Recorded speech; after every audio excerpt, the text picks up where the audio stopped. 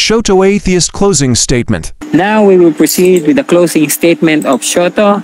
Uh, six minutes on the clock. Right. So even if I grant ng yung whole point ni Charles about his um, presuppositionalism niya, ganun nga yung uh, premises na kinoconsist ng argument niya, uh, including its conclusion is is true.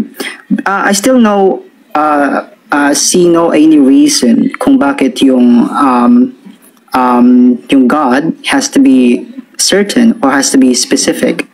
Um, I think um, this is another problem to uh, address to Charles. Why it should be the God of the Bible?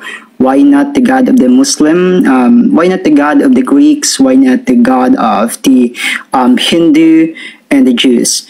And it's also important na kasi yung mga Muslim, they're also using uh, presuppositional apologetics.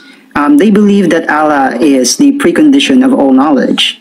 And rational thought is also possible uh, dahil nga siya ay nag-exist and that's because of him. But yet, uh, nag-arrive sila in a very different conclusion. So, and also, I just wanted to ask um, to Charles, maybe since um, closing statement ka is that which Bible, since there is over 3,030 versions in over 2,011 languages that there is, so why it should be the specific Bible and the specific God na yung presuppose ng mga presuppositionalist. And also, um, yung interesting part dito sa argument na um, presuppositionalism, presuppositionalism, I mean, is that um, you could use it to justify um, any types of gods, like flying spaghetti. It's like it might be possible that this flying spaghetti monster is the uh, precondition for all knowledge, and it might be Shiva, Thor, or Lord Shota whatsoever. So about the natural, uh, his response recently on the uh, evil or the evidential problem of evil. So he said that God has a reason, but we don't know it. So God works in a mysterious way. So on this kind of reasoning, or or if if you have a God na nag-work in a mysterious way, so he can't be predicted or walang pattern or walang reason currently. Um, I think this is not a certain type of God na paniniwalaan mo sa sa mga bagay na nangyari sa buhay mo, which is siyang reason behind it. And if God has a reason, but hindi niya na lang ibigay sa atin, right? So that wala na mga atheist. So what is the point of not giving that answer or being still mysterious. So I see no reason uh, behind that.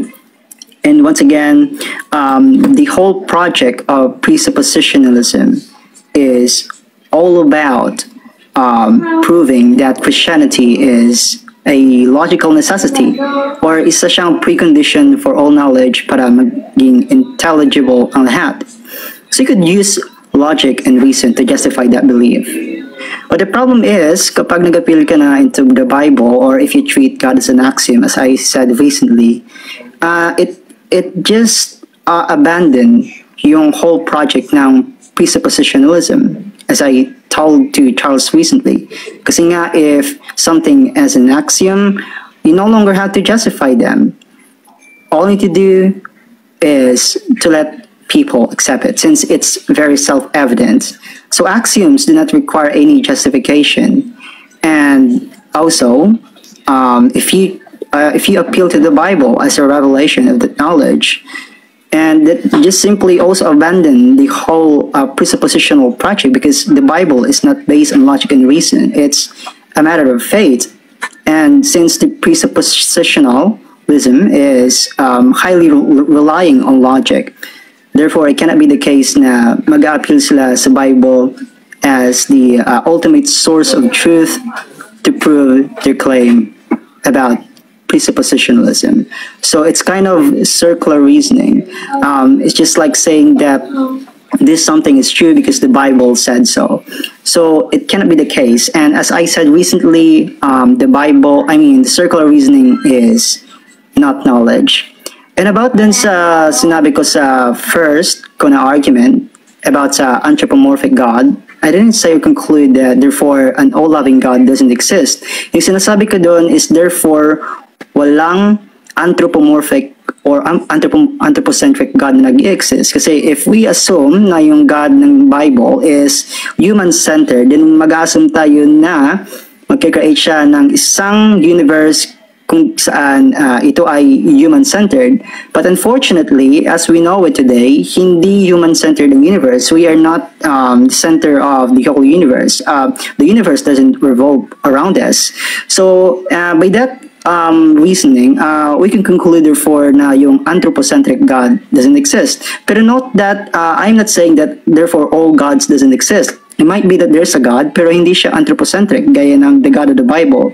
So again, since we live in a universe na sobrang random and sobrang vast, it really make us uh, feel so unimportant and we shouldn't expect that in a world na merong anthropocentric God. So that's all.